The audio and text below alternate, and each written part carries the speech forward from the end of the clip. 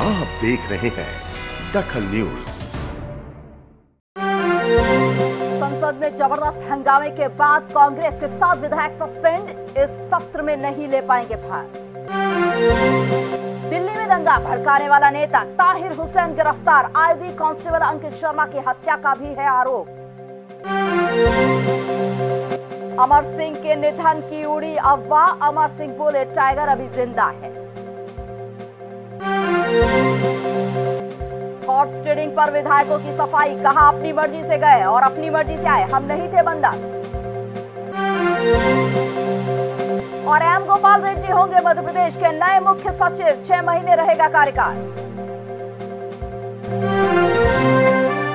नमस्कार, मैं हूँ शेफाली। आप देख रहे हैं दखल न्यूज़, खबरें विस्तार से। संसद में ज़बरदस्त हंगामे के बाद कांग्रेस के सात सदस्यों को सस्पेंड कर दिया गया है। इन सदस्यों को बजट सत्र की समाप्ति तक के लिए सस्पेंड किया गया है। इन सात कांग्रेस सदस्यों में Gaurav Gogoi T N Prathapan Dean Kuriakose R Unnithan Manickam, Tagore, Benny, Behanan और गुरजीत सिंह औजला के नाम शामिल हैं। इन्हें लोकसभा में कदाचार के आरोप में निलंबित किया गया है। दिल्ली दंगों के मामले में सप्ताह की शुरुआत में सदन में विपक्षी दल के सदस्यों ने काफ़ी हंगामा किया था। इससे सदन की गरिमा भंग हुई थी। सदन की कार्रवाई आरंभ होते ही लोकसभा में कांग्रेसी सांसद बेल में आने लगे थे। इस पर लोकसभा अध्यक्ष ओम बिरला ने चेतावनी दी थी कि कोई भी सांसद बेल तक न आए। समझाने के बावजूद कांग्रेसी सांसद नहीं माने, इस पर स्पीकर ने साफ़ कहा था कि यदि कोई सांसद बेल में आता है तो उसके खिलाफ कार्रवाई कर दी जाएगी। उन्होंने कहा था कि संसद का सदन सुचारू रूप से चलना चाहिए। आप लोग प्ले कार्ड लेकर सदन चलाने की कोशिश न करें। हंगामा बढ़ने पर कार्रवाई स्थगित कर दी गई थी। ऐसे में सभापति से पत्र छीनने को लेकर कांग्रेस के सात सांसदों को पूरे सत्र के लिए निलंबित कर दिया गया है। इसमें गौरव गोगोई भी शामिल हैं। गुरुवार को दोनों सदनों में कोरोना वायरस पर चर्चा हुई। इस दौरान विपक्षी सांसदों ने हंगामा किया। दिल्ली में हिंसा को बढ़ाने वाला और कांस्टेबल अंकित शर्मा की हत्या के आरोपी आप नेता ताहिर हुसैन को दिल्ली पुलिस ने गिरफ़्तार कर लिया है। ताहिर के घर से उसके समर्थकों ने पत्थरबाजी की थी, पेट्रोल बम भी फेंके थे और खास वर्ग के लोगों को निशाना बनाया था। दिल्ली हिंसा को भड़काने में अहम भूमिका निभाने वाला आरोपी ताहिर हुसैन ने दिल्ली की राउज एवेन्यू कोर्ट में सरेंडर कर दिया है। ताहिर ने एक टीवी चैनल को दिए इंटरव्यू में कहा था कि वह नार्को टेस्ट के लिए भी तैयार है। उसने खुद को बेकसूर बताया। ताहिर पर आईबी कांस्टेबल अंकित शर्मा की हत्या का भी आरोप है। पुलिस ने ताहिर के खिलाफ दंगा भड़काने के मामले में भी केस दर्ज किया है। ताहिर के सरेंडर के बाद राउज एवेन्यू कोर्ट में भारी पुलिस बल की तैनाती कर दी गई। कोर्ट के समक्ष ताहिर ने जमानत की मांग की थी। इस पर कोर्ट ने कहा कि सरेंडर पर सुनवाई का उनके पास अधिकार नहीं है। फिर क्राइम ब्रांच ने ताहिर हुसैन को गिरफ़्तार कर लिया। समाजवादी पार्टी के पूर्व नेता अमर सिंह ने अपने निधन की खबर का खंडन करते हुए सोशल मीडिया पर एक वीडियो जारी किया। उन्होंने कहा, टाइगर अभी ज़िंदा है। अमर सिंह की मौत की खबर सोशल मीडिया पर थी। उसके कुछ समय बाद सोशल मीडिया पर अमर सिंह का वीडियो आया। अमर सिंह ने लिखा कि वे सिंगापुर में हैं, जहाँ एक सर्जरी होना है, इसके बाद वे भारत लौट आएँगे। अमर सिंह के निधन की अफवाह पहली बार 2 मार्च को उड़ी। उन्होंने ये भी कहा कि कुछ शुभचिंतक उनके मरने की दुआएँ मांग रहे हैं, लेकिन वे ज़िंदा हैं। अमर सिंह के वीडियो के बाद सोशल मीडिया पर ज़बरदस्त कमेंट्स आ रहे हैं।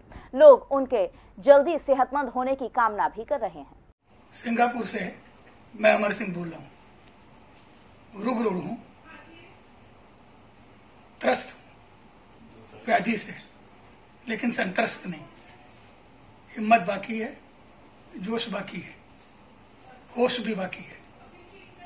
हमारे शुभचिंतक और मित्र, ये अफवाह बड़ी तेज़ी से फैलाए हैं कि यमराज ने मुझे अपने पास बुला लिया है। ऐसा बिल्कुल नहीं है। मेरा इलाज चल रहा है। और माँ भगवती की इच्छा हुई। तो अपनी शल्य चिकित्सा के उपरांत शीघ्रातिशीघ्र दुगनी ताकत से मैं वापस आऊँगा। कमलनाथ सरकार से नाराज़ विधायकों की हॉस्टेरिंग के मामले के बीच पूर्व मुख्यमंत्री दिग्विजय सिंह ने ट्वीट कर इस घटना के लिए बीजेपी के पाँच नेताओं, शिवराज सिंह चौहान, नरोत्तम मिश्रा, संजय पाठक, विश्वास सारंग और भूपेंद्र सिंह को जिम्मेदार ठहराया है। इधर कांग्रेस के मंत्री उमंग सिंघार ने इस सब घटनाक्रम के लिए इशारे इशारे में दिग्विजय सिंह को कटघरे में खड़ा कर दिया है मध्य प्रदेश में उभरे सियासी संकट के बीच कमलनाथ सरकार द्वारा नाराज़ विधायकों को मनाने की कोशिशें जारी हैं। बुधवार को चार विधायक दिल्ली से भोपाल लौट आए, लेकिन तीन विधायक कांग्रेस के संपर्क में नहीं हैं। फ़िलहाल सब कुछ ठीक दिख रहा हो, लेकिन कांग्रेस सरकार की हालत खस्ता है जो तीन विधायक गायब है। उनके नाम विसाहू लाल सिंह, हरदीप सिंह डांग और रघुराज सिंह कसाना है। बताया जा रहा है कि जानबूझकर ये लोग कांग्रेस नेताओं से संपर्क नहीं कर रहे हैं, क्योंकि कांग्रेस के दिग्गज भी इनके साथ ऐसा व्यवहार करते रहे हैं। चार विधायकों के वापस लौटने से कांग्रेस को थोड़ी राहत मिली है, लेकिन ये सियासी संकट अभी टला नहीं है। उधर कांग्रेस और भाजपा नेताओं के बीच एक दूसरे पर आरोप के तीर भी चलाए जा रहे हैं। ऐसे में दिग्विजय सिंह ने पाँच भाजपा नेताओं के नाम ट्वीट कर विपक्षी विधायकों को खरीदने की कोशिश करने का आरोप लगाया है। दिग्विजय सिंह ने एक ट्वीट किया है, जिसमें उन्होंने कहा कि मध्य प्रदेश में भाजपा द्वारा विधायकों की खरीद फरोख्त खुलकर सामने आ गई है। लेकिन उनके मंसूबे पूरे नहीं हुए। सभी विधायकों को आभार। उन्होंने इस घटना के लिए शिवराज सिंह चौहान, नरोत्तम मिश्रा, संजय पाठक, विश्वास सारंग भूपेंद्र सिंह जिम्मेदार ठहराए हैं। इसके साथ ही लिखा है कि मोदी और शाह जी काला धन आपकी पार्टी में ही है, विदेशों में कहाँ ढूंढते हो? भाजपा नेता और पूर्व मंत्री नरोत्तम मिश्रा ने कमलनाथ सरकार को कार्रवाई करने का चैलेंज दिया है। उन्होंने कहा कि हम पर कार्रवाई होगी तो जो गलत कर रहे हैं, उन पर भी कार्रवाई होगी। मिश्रा ने कांग्रेस के आरोपों पर कहा कि कांग्रेस की यह कपोल कल्पना है कि हम सरकार गिराने की साजिश रच रहे हैं। नरोत्तम मिश्रा से जब भाजपा विधायकों के कांग्रेस के संपर्क में होने पर सवाल पूछा गया तो उन्होंने कहा कि जब इसी तरह हम कांग्रेस विधायकों के संपर्क में होने की बात कहते हैं तो उन्हें डर क्यों लगता है? मिश्रा ने यह भी कहा कि कमलनाथ सरकार से 15 से 20 विधायक नाराज़ चल रहे हैं। वे हमारे संपर्क में हैं। तीस साल से सदन में हूँ। स्वाभाविक रूप से इष्ट मित्र हैं हमारे संपर्क में रहते हैं। समस्याएँ बताते हैं सरकार काम नहीं कर रही नौजवान का किसान का महिलाओं का बताते हैं। मेरे पे कार्रवाई करने की वो डेढ़ साल से कोशिश कर रहे हैं और कर दें मैं इंतज़ार कर रहा हूँ। मैंने तो पहले भी कहा था कि बैंड बाजे के संग जाऊँगा अभी भी कह रहा हूँ। मध्य प्रदेश की जनता जानती है और सरकारें और भी हैं। कार्रवाइयाँ अगर हम पे होंगी तो औरों पे भी हो सकती हैं। मध्य प्रदेश में हुए घटनाक्रम में पूर्व मुख्यमंत्री दिग्विजय सिंह, कमलनाथ सरकार के संकट मोचक यानी हीरो बनकर उभरे, लेकिन उनकी भूमिका को लेकर कई सवाल भी खड़े हो गए।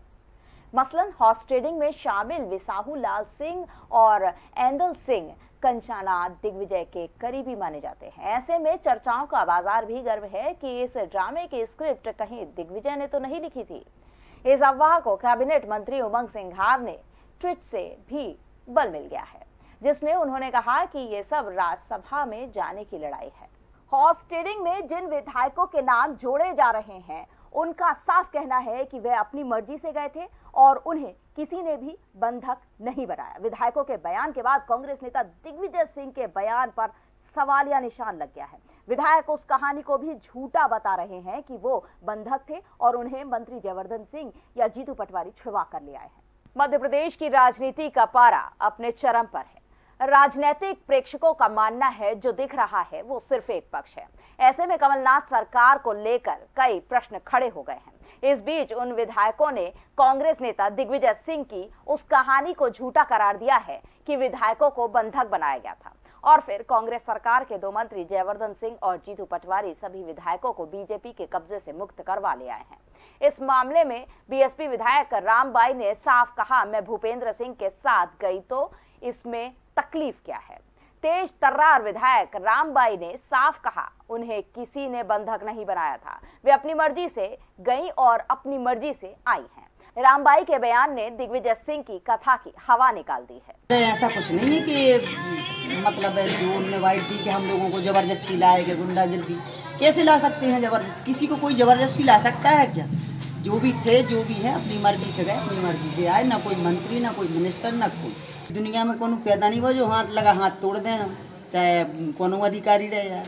भी खुद हम बचाए भी हम कह रहे हमारे लाने के उन्होंने हाथ नहीं लगा। बसपा एमएलए संजीव कुशवाहा का बयान भी सामने आया है। उन्होंने कहा, जब जहाज़ डूबता है, उससे पहले चूहे मज़े करते हैं। ऐसे कई चूहे कांग्रेस में मौजूद हैं। कमलनाथ जी ऐसे चूहों को हटाएँ। मैं दिल्ली काम से गया था। मुझे बीजेपी ने बंधक नहीं बनाया था। संजीव कुशवाहा की बातों के कई मायने हैं। उनकी बात ने भी दिग्विजय सिंह की कथा को गलत ही बताया है। देखिए एक बड़े बुज़ुर्ग हमको एक कहावत सुनाते थे कि जहाज़ में चूहे भी बहुत होते हैं और सबसे ज़्यादा मज़े वो चूहे ही करते हैं। जहाँ आप नहीं पहुँच सकते वहाँ चूहे पहुँच जाते हैं। और जब जहाज़ डूबने लगता है तो सबसे पहले चूहे कूद के भागते हैं। तो मैं कमलनाथ जी से आपके माध्यम से ये कहना चाहता हूँ कि अपनी सरकार में भी ऐसे चूहों को चिन्हित करें और जो मतलब सरकार जहाज़ डूबने से पहले ही तैयार कर ली, तैयारी कर ली थी कूदने की।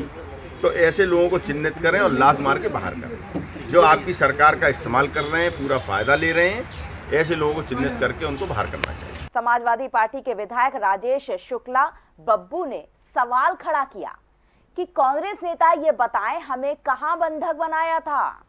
हम बुंदेलखंड से हैं, किसी की हिम्मत नहीं कि हमें बंधक बनाएँ। शुक्ल ने कहा, इन चौदह महीनों में कई बार नरोत्तम मिश्रा से मुलाकात हुई तो इसमें बुराई क्या है?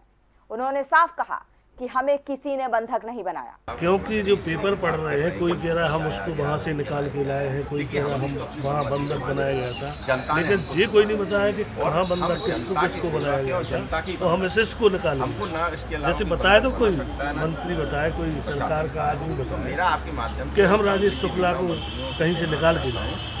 तो हम उससे बात करें हमने से और हम लोग मंदिर खंड से आए लोग हैं गरीब हैं कमज़ोर हैं पिछड़े हैं क्षेत्र के लोग। लेकिन मेहनती और ताकतवर इतने हैं कि हमें कोई बंधक बनाने की औकात नहीं। बसपा विधायक रामबाई ने तो यहाँ तक कहा कि पहले मंत्रियों की बाइट लो फिर मुझसे आकर पूछना। रामबाई ने कहा बीजेपी का कोई रोल नहीं।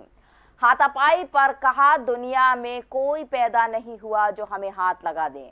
इन विधायकों की माने तो कांग्रेस नेता दिग्विजय सिंह या जयवर्धन सिंह और जीतू पटवारी बंधक बनाए जाने की जो बात कह रहे हैं, वो सिरे से गलत है इन लोगों ने हॉर्स ट्रेडिंग की बात को भी सफ़ेद झूठ बताया हॉर्स ट्रेडिंग की खबरों के बीच सहकारिता मंत्री गोविंद सिंह ने सत्ता और संगठन के लोगों को नसीहत देते हुए कहा, जिनकी मानसिकता कांग्रेस की नहीं, वे तत्काल पार्टी से चले जाएँ। कमलनाथ के कैबिनेट मंत्री डॉक्टर गोविंद सिंह का बड़ा बयान सामने आया है। कई गुटों में बटी कांग्रेस और मंत्रिमंडल को लेकर उन्होंने साफ़ कहा कि जिसकी मानसिकता कांग्रेस की नहीं है, वो पार्टी से चला जाए।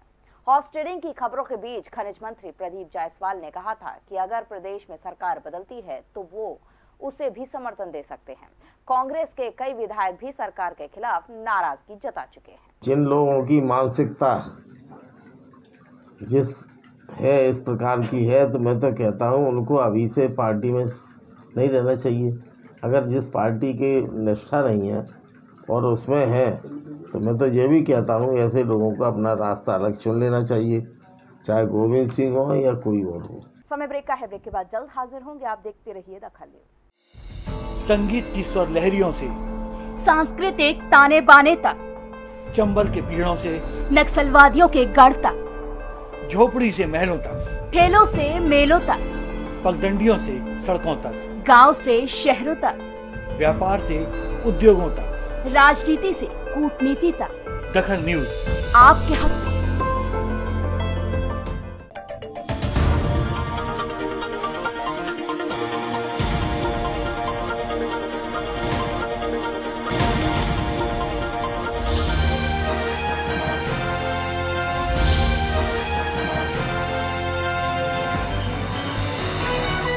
देख रहे हैं। दखल न्यूज़। ब्रेक के बाद आपका स्वागत है। एम गोपाल रेड्डी को मध्य प्रदेश का चीफ सेक्रेटरी नियुक्त किया गया है। अब तक वे जल संसाधन के अपर मुख्य सचिव के रूप में सेवा दे रहे थे। एम गोपाल रेड्डी मौजूदा chief secretary S R Mohanty का स्थान लेंगे, जो 31 मार्च को रिटायर हो रहे हैं। मोहंती ने 31 दिसंबर 2018 को यह पद संभाला था। रेड्डी कांग्रेस नेता दिग्विजय सिंह के करीबी माने जाते हैं और मुख्यमंत्री कमलनाथ के भरोसेमंद चीफ सेक्रेटरी बनने के बाद एम गोपाल रेड्डी का कार्यकाल छह महीने का रहेगा। ऐसे में माना जा रहा है कि मुख्यमंत्री कमलनाथ केंद्र से एक्सटेंशन का अनुरोध कर सकते हैं। इससे पहले भाजपा सरकार में आर परशुराम और बीपी सिंह को एक्सटेंशन दिया जा चुका है। उन्नीस बैच के अफसर एम गोपाल रेड्डी मुख्यमंत्री कमलनाथ के भरोसेमंद अफसरों में शुमार है और अभी हर महत्वपूर्ण बैठकों में भी वे हिस्सा लेते हैं। एम गोपाल रेड्डी मौजूदा chief secretary S R Mohanty का स्थान लेंगे, जो 31 मार्च को रिटायर हो रहे हैं। कोरोना वायरस से सुरक्षा के मद्देनजर खजुराहो एयरपोर्ट पे इटली के नौ सदस्यीय पर्यटक दल को रोका गया है। पर्यटकों को नौगांव के छह चिकित्सालय में बनाए गए आइसोलेशन वार्ड में भर्ती कर चेकअप कराया जा रहा है। यह पर्यटक दल खजुराहो भ्रमण करने के बाद विस्तार फ़्लाइट से बनारस की ओर रवाना होने जा रहे थे। दिल्ली के एयरपोर्ट पर इटली के संदिग्ध पर्यटकों के मिलने के बाद देश भर में सुरक्षा व्यवस्था की जा रही है। खजुराहो से इटली के नौ पर्यटकों का दल अपने गाइड के साथ बनारस जाने के लिए एयरपोर्ट पर पहुँचा था। विस्तार फ़्लाइट बनारस के लिए रवाना होने जा रही थी। तभी एयरपोर्ट प्रबंधन ने एहतियात के तौर पर एक इटली के इस नौ सदस्यीय ग्रुप को बनारस जाने से रोक लिया और उन्हें सामान्य चेकअप के बाद जिला चिकित्सालय रवाना किया गया। जिला चिकित्सालय में भी इटली के पर्यटकों की जाँच कर उन्हें नौगांव के छह चिकित्सालय में बनाए गए आइसोलेशन वार्ड में भर्ती करा दिया गया। खजुराहो एयरपोर्ट के अधिकारी संजीव कुमार ने बताया कि इटली के ग्रुप को सामान्य चेकअप के लिए रोका गया है। उनमें कोई भी संदिग्ध नहीं है पर्यटकों का ग्रुप लीडर भी चाहता था कि उनका चेकअप किया जाए। यहाँ पे जो पैसेंजर्स जो अभी गाइडलाइन जो हुआ डिफरेंट कंट्री जैसे कि इटली हुआ या कोरिया सब कंट्री को चेक करना है पैसेंजर्स को। तो हम जो है, जो कंट्री ऑफ़ ओरिजिन जो लोग का है, उन एयरलाइन से चेक किए हैं, जो कुछ इटली का पैसेंजर्स मिले थे। तो उनको हम फर्दर जाँच के लिए भेजे हैं छतरपुर और उनके पास कोई सिम्टम पाए नहीं गया, और अभी तक किसी के पास भी कोई सिम्टम नहीं मिला है। और इसके मामले डिस्ट्रिक्ट एडमिशन जो है, हमको यहाँ पे डॉक्टर्स एंड नर्स प्रोवाइड किए हैं जाँच के लिए। और अभी तक कुछ पॉजिटिव जाँच नहीं मिला।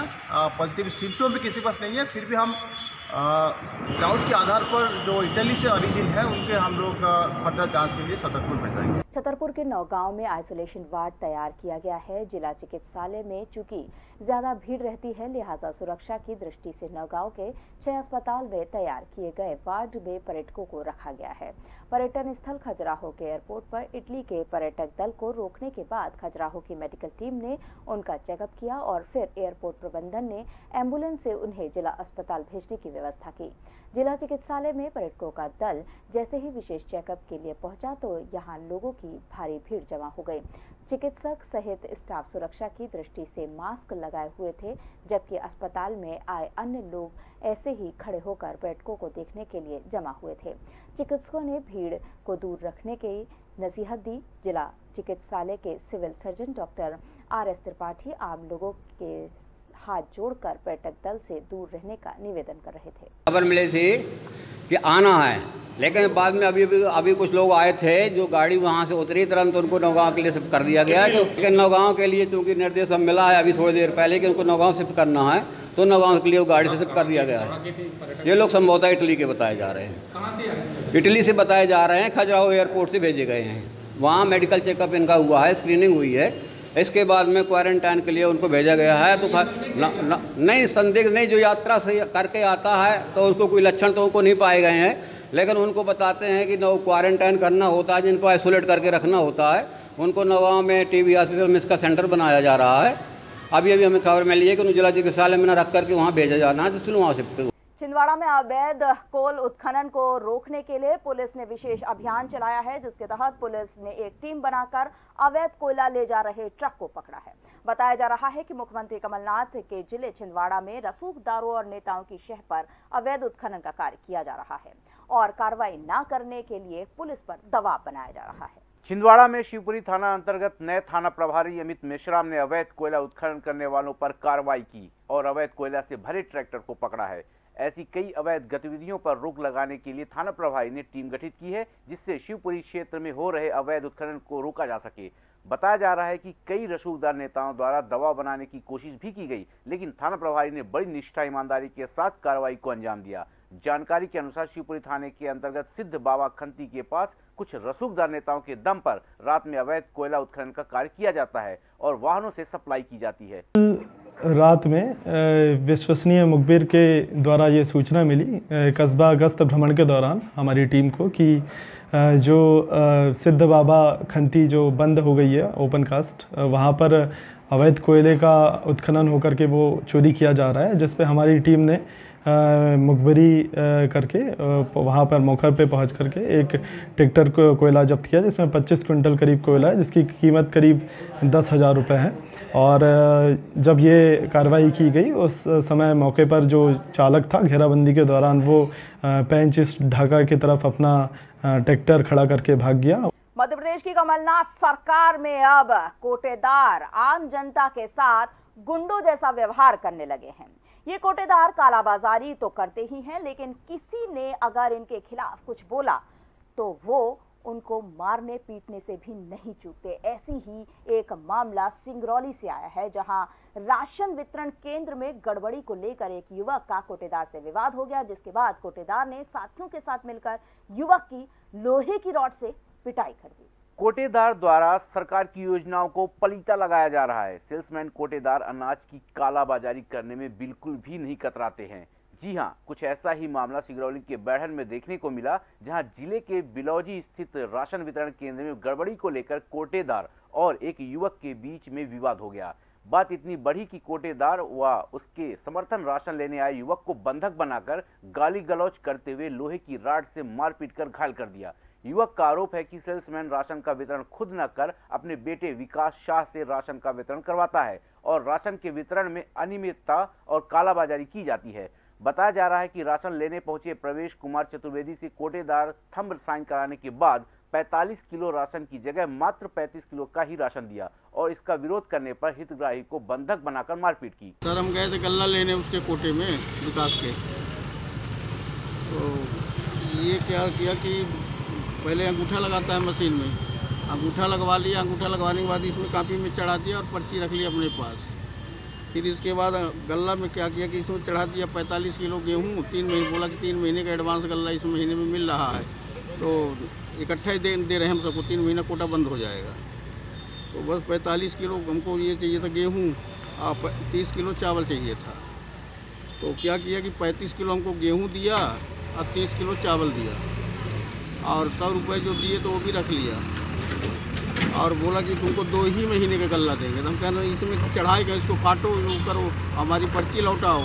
वहीं स्थानीय लोगों का कहना था कि कोटेदार विवादित व्यक्ति है, आए दिन लोगों से झगड़ा करता रहता है। इन सब में कहीं ना कहीं विभाग की भी मिली भगत है। विभाग के लोगों द्वारा कोटेदार से अवैध वसूली की जाती है, जिससे कोटेदार आम आदमी से कटौती करके खाद्यान्न कम देता है। स्थानीय लोगों की सूचना पर पहुँची कोतवाली पुलिस ने दोनों पक्षों को कोतवाली लाकर एफआईआर दर्ज कर लिया और जाँच शुरू कर दी है। आज दिनांक को शैलेन चतुर्वेदी और प्रवेश चतुर्वेदी, जो कि पिता पुत्र हैं, पचकोरा हाउसिंग बोर्ड स्थित शासकीय उचित मूल्य की दुकान में राशन लेने गए थे। लेकिन कोटेदार द्वारा कम राशन देने की बात पर जब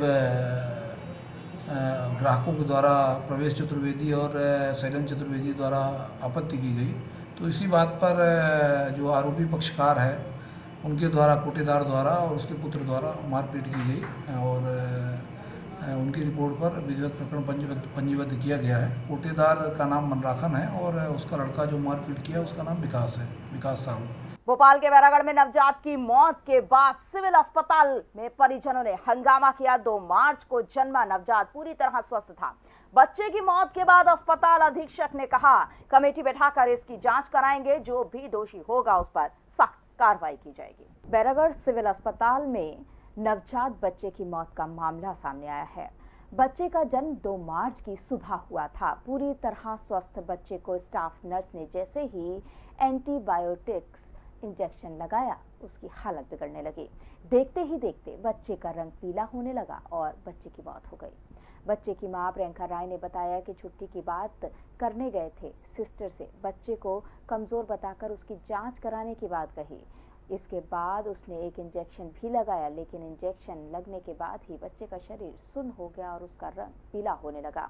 प्रियंका ने अपने पति किशोर राय को इसकी जानकारी दी और फिर बच्चे को डॉक्टर के पास ले गए। डॉक्टर ने बच्चे को स्वस्थ बताया, लेकिन कुछ ही देर बाद बच्चे की मौत हो गई। बच्चे की मौत के बाद परिजनों ने अस्पताल में जमकर हंगामा किया। रात में भी मेरे साथ ही था। सही था। सब सही था अभी छुट्टी का पूछा मैंने तो कहने लगी कमज़ोर रहेगा तो इसकी जाँच होगी इसलिए खून निकाला। ये हमारे लड़का दो दिन से सही था। आज छुट्टी डिस्चार्ज होना था सर डॉक्टर साहब आए तो उन्हें कौन सा नर्स से बोल के पेन पे लिखा तो खून निकाल लिया था सर। अच्छा।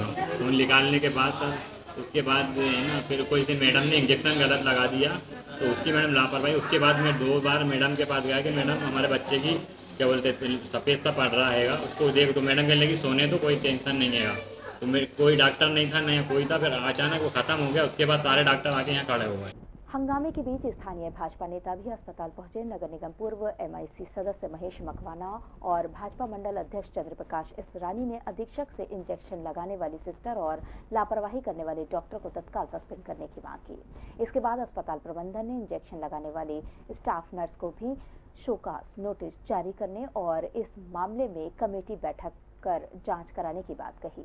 क्या मामला है सर, इसमें। जी सर बताए सर क्या मामला है सर इसमें क्या कहना चाहेंगे आप? कि, सर किसका दोष है इसमें? जाँच के बाद ही बताऊँगा भोपाल की शाहपुरा पुलिस ने एक नाबालिग समेत तीन शातिर वाहन चोरों को गिरफ़्तार किया है। इनके पास से तीन लाख रुपए कीमत की छह बाइक्स बरामद की गई हैं। वाहन चोरी पर अंकुश लगाने के लिए भोपाल पुलिस ने विशेष अभियान चलाया है, जिस पर थाना प्रभारी शाहपुरा चंद्रकांत पटेल द्वारा टीम गठित कर वाहन चोरों की तलाश प्रारंभ कर दी गई है। उनकी टीम की खबर मिली कि दो व्यक्ति अलग अलग मोटरसाइकिलें लिए इंडस चौराहे पर खड़े हैं, जो उन्हें बेचने के लिए ग्राहक की तलाश कर रहे हैं। पुलिस बल ने इंडस चौराहा पहुंचकर आरोपियों की गिरफ्तारी, रोहित शर्मा व रामकिशोर लोधी की की, रोहित विश्वकर्मा काले रंग की पल्सर लिए था तथा रामकिशोर लोधी प्लेटिना लिए खड़ा था। दोनों को हिरासत में लेकर पूछताछ करने पर उनके द्वारा एक अन्य नाबालिग बालक के साथ मिलकर शहर के विभिन्न क्षेत्रों से छह बाइक चोरी करना स्वीकार किया। इनमें तीन लाख कीमत की छह बाइक अब तक जब्त हो चुकी हैं, आरोपियों ने अन्य चोरियों के बारे में भी बताया है। इससे पाँच दिन पहले भी एक वाहन चोर गैंग भोपाल पुलिस ने पकड़ा था। भोपाल में national health mission Madhya Pradesh ने मेंटल हेल्थ एक्ट 2017 पर स्टेट लेवल और रिटेंशन प्रोग्राम का आयोजन किया है। इस दौरान बड़ी संख्या में विभिन्न जिलों से डॉक्टरों ने शिरकत की। मेंटल पेशेंट को किस तरह अच्छी सुविधा मिले और उनके क्या अधिकार हैं, इस बारे में विशेषज्ञों ने कार्यक्रम में जानकारी दी। भोपाल के अशोका लेक व्यू होटल में national health mission, Madhya Pradesh ने मेंटल हेल्थ एक्ट 2017 पे स्टेट लेवल ओरिएंटेशन प्रोग्राम का आयोजन किया। कार्यक्रम में बताया गया कि किस तरह मानसिक मरीजों के साथ व्यवहार करना चाहिए, उनको क्या सुविधा मिलनी चाहिए। कार्यक्रम में बताया गया कि मध्य प्रदेश में स्टेट हेल्थ अथॉरिटी बनाने की कैबिनेट ने मंजूरी दे दी है। अब आगे इसके लिए नियम और कायदे बनाए जाएँगे, जिसके तहत इस कार्यक्रम का आयोजन किया जाएगा। कार्यक्रम में दिल्ली, एम्स और विभिन्न शहरों से आए विशेषज्ञों ने मेंटल इलनेस के बारे में जानकारी दी और बताया कि मानसिक रोग से ग्रस्त मरीजों का किस तरह इलाज होना चाहिए, मानसिक रोगियों को जुडिशरी किस तरह लेता है और उनके अधिकार क्या है? नेशनल हेल्थ मिशन की अपर संचालक सलोनी सिडान ने बताया कि स्टेट मेंटल अथॉरिटी के बाद डिस्ट्रिक्ट लेवल में भी अथॉरिटी बनेगी। National mental health care act 2017 बनने के बाद अब स्टेट मेंटल हेल्थ अथॉरिटी कल कैबिनेट से क्लियर हो गई है। उसके बाद हमें रूल्स एंड रेगुलेशंस इसकी फॉलो करनी है। नाइनटीन को ये कैबिनेट से क्लियर हुआ था। तो उसके बाद हम चाहते हैं कि हमारे रूल्स एंड रेगुलेशन स्टेट के लिए भी बन जाए, ताकि हमारे स्टेट में जो मानसिक स्वास्थ्य से पीड़ित लोग हैं पेशेंट्स विद मेंटल इलनेस हैं, उनको हम बेहतर से बेहतर सुविधाएँ पहुँचा सकें, उनको बेहतर से बेहतर हेल्थ केयर प्रोवाइड करवा सकें। इसके लिए हमने आज अपने सभी मनकक्ष क्लिनिक के जो एमओज हैं, उनको यहाँ पे बुलाया है। उनको एक छोटी सी सेंसिटाइजेशन प्रोग्राम रखा है। यहाँ पे हमने जो स्पीकर्स को बुलाया है वो एम्स से हैं निमहान से हैं दिल्ली से हैं और वो उनको बता रहे हैं कि कैसे हमें हर पेशेंट की तरफ़ ध्यान देना है और उनके राइट्स को प्रोटेक्ट करना है। कार्यक्रम की जानकारी देते हुए नेशनल मेंटल हेल्थ मिशन के उप संचालक डॉक्टर शरद तिवारी ने बताया कि इस कार्यक्रम में सभी जिलों के एचओडी और मेंटल हेल्थ प्रोग्राम के तहत चलाई जा रही मनकक्ष क्लिनिक के प्रभारी को इसकी जानकारी देने के लिए बुलाया गया है। जो आज का प्रोग्राम है ये हाफ़ डे ओरिएंटेशन प्रोग्राम रखा गया है about mental health care act 2017 पे।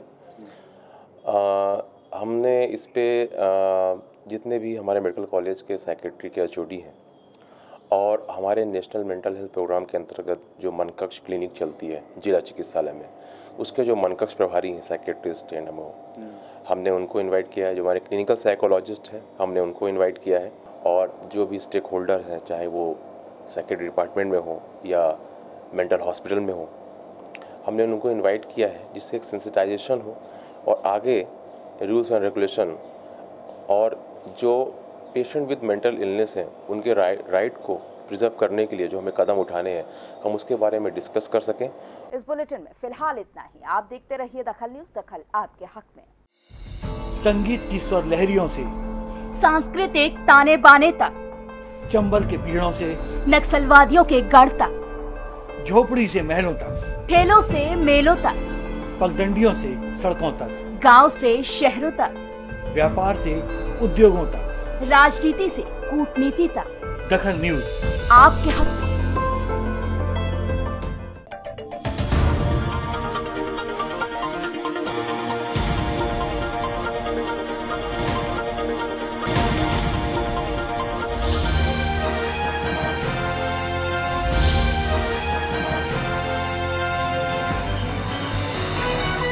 देख रहे हैं दखल न्यूज़।